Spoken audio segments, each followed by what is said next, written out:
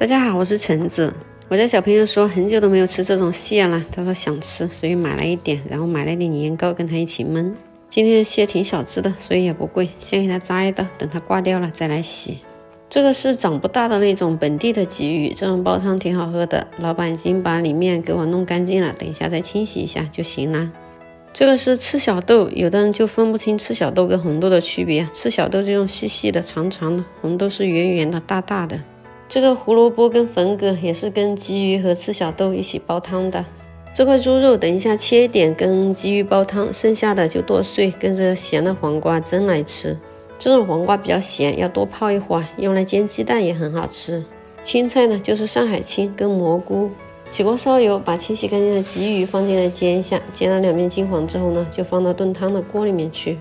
这点瘦肉我就没费水了，直接放进来，把刚刚准备的胡萝卜那些，还有赤小豆都放进来，再来点姜片跟陈皮，煮开之后呢，转小火煲一个小时左右。咸黄瓜我泡了挺久，用清水也洗了几遍了，切碎之后呢，就把它放到搅碎的肉末里面去，加一点生抽跟花生油，搅拌均匀之后呢，再放一点葱姜水进去，这个就不需要再加盐调味了，因为有黄瓜的咸味就足够了。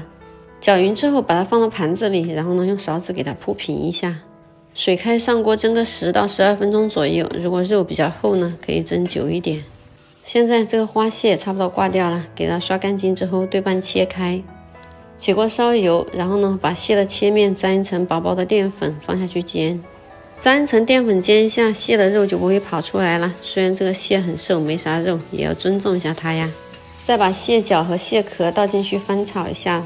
炒香之后，放姜蒜和葱白下去翻炒出香味。之后呢，再把年糕倒进来，翻炒两分钟左右就可以开始调味啦。加入适量的生抽跟盐调下味，然后呢，给它翻拌均匀。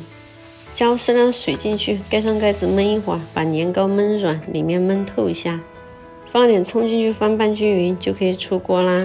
这种兰花蟹的肉质很鲜甜又很嫩，随便炒一炒就很好吃啦。年糕软软糯糯的，也吸足了兰花蟹的鲜味，味道不错哟。锅里面水烧开之后，放一点油跟盐进去，然后呢，把菜梗和蘑菇放下去先烫一下，再把菜叶子倒进去，烫到变色就可以捞出来啦。起锅烧油，放点蒜下去，把烫好的青菜倒进来，翻炒均匀之后，加入适量的生抽和盐来调一下味。很多人吐槽我炒个青菜也要放生抽，这个真的是个人习惯，我觉得放一点比不放要好吃。汤煮的差不多了，加适量的盐来调一下味，非常好喝的鲫鱼汤就完成啦。